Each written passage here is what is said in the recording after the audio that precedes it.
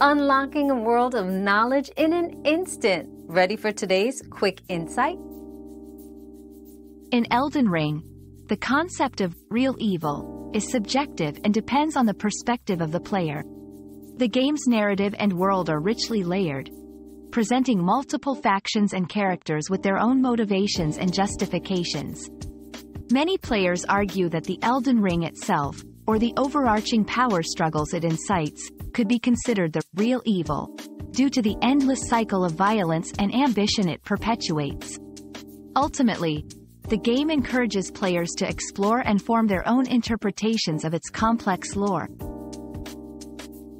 Another mystery solved, but many more await. Keep up with our daily discoveries by subscribing and turning on notifications.